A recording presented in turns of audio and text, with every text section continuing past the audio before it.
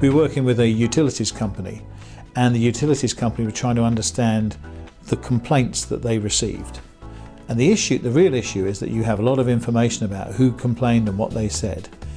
But what they wanted to understand, and, and this is the heart of most business intelligence, is what were the people really complaining about and how cross were they?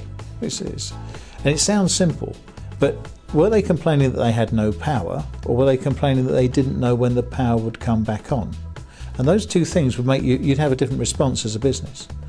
And so what we did was we took all of their data, and not only did we cut it by geography and uh, postcode and by who was responding to them and what the issue was, but we also took the, the text and we did sentiment analysis on it.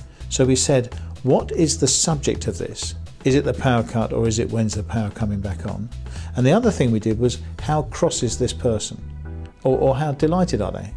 And that gave us a, a, a, grid. You suddenly, with these issues, we get real, real, real distress, real anxiety. And as a result, they changed the training of their staff, and uh, we've now we're now going forward to do some kind of real-time feedback for them.